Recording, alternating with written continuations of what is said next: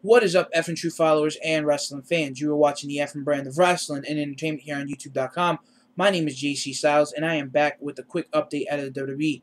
This video does contain spoilers for the Friday Night SmackDown tapings that were taped tonight, March 12, 2013, and will air this coming Friday, March 15, 2013. A match for WrestleMania 29 has been revealed at the SmackDown tapings. We will see The Shield versus Randy Orton, Sheamus, and Ryback to take place at WrestleMania 29. Now, it was originally supposed to be Big Show thrown into this mix, but I guess WWE has decided to do something different with the Big Show this year at WrestleMania. Now, these guys, these six gentlemen have been at each other's throats over the last several months, dating all the way back to TLC of 2012. Only time will tell what will happen leading up to WrestleMania 29 what will the Shield have in store for their opponents, and what will Randy Orton, Sheamus, and Ryback have in store for their opponents, the Shield, in the weeks to come.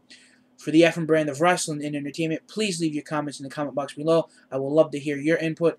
And I'm GEC Styles, and I'll catch you back in just moments with the Friday Night SmackDown spoilers for March 15, 2013.